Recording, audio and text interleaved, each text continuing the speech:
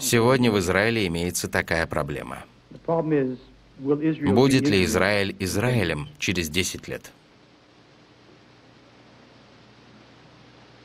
Государство Израиль – это продукт сионизма.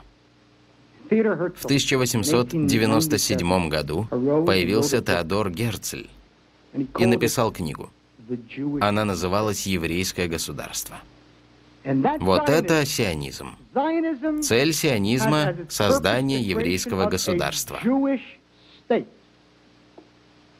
И действительно, в Декларации о независимости Израиля сказано,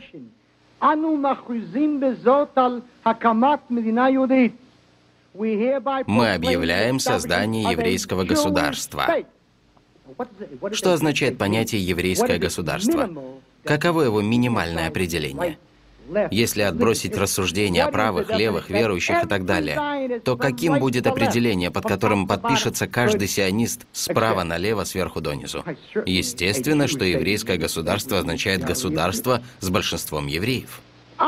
Очевидно, что если еврейского большинства нет, то это не еврейское государство. В Бруклине много евреев, но это не еврейское государство. Еврейское государство – это такое государство, в котором еврей имеет суверенитет, независимость. Он хозяин своей судьбы. Наконец-то, после 1800 лет жизни под христианским и мусульманским правлением, вдоволь вкусив таких благ, как крестовые походы, инквизиция, погромы и освенцимы, мы, наконец, сказали спасибо, но больше не надо. Мы решили создать государство, в котором мы сможем сами определять свою судьбу. Вот что такое еврейское государство. Большинство евреев. Но западная демократия не допускает подобные разговоры.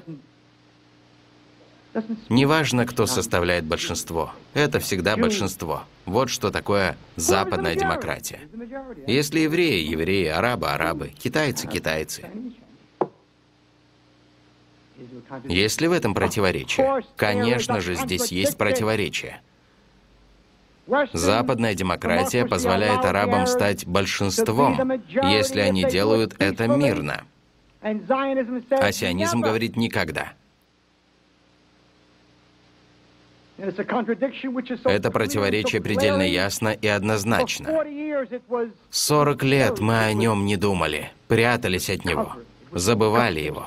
Но больше так продолжаться не может потому что арабы в Израиле размножаются в четыре раза быстрее, чем евреи.